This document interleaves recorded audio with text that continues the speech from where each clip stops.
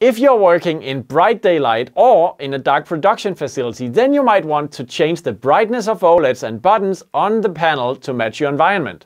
You can do this live if you assign a component to the system action panel brightness. Now you can change the brightness of either your buttons, OLEDs or both right from your controller.